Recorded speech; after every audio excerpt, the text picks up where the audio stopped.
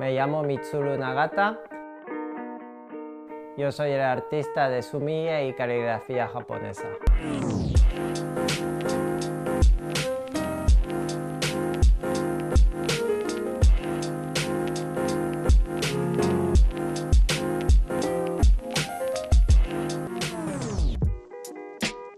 Eh, yo soy de Japón, eh, pero ya llevo en Barcelona 15 años y yo me dedico a hacer la caligrafía japonesa y la pintura sumie, que es la pintura japonesa que se hace con la tinta de hollín blanco y negro, como puedes ver como estas, ¿no? En Japón planeamos mucho, mucho, mucho. Nos enseñan de que tienes que planear mm, hasta tu vida, ¿no? Como quieres ser y tal, pero aquí la gente vive más a día a día. Es lo que me gusta mucho. Me gustó y sigue gustando.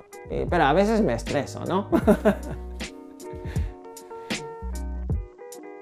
La pintura sumie eh, también se dice sui bokuga. La traducción sería pintura con tinta. Y la tinta está hecho con hollín. Y por eso el color es negro, pero jugamos con la densidad de color en negro, así que puedes pintar de gris muy muy claro o negro negro.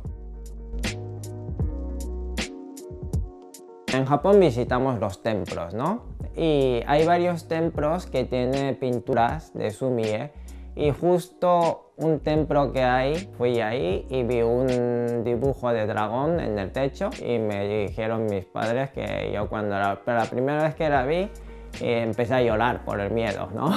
Pero al final ese dibujo es el que me marcó la referencia de, de mi, mi trabajo ahora también. La pintura solo en blanco y negro aquí es mm, algo diferente. Y aparte, eh, las pinturas sumies y caligrafías eh, es muy importante el espacio en blanco. tanto como la parte pintada son igual de importantes.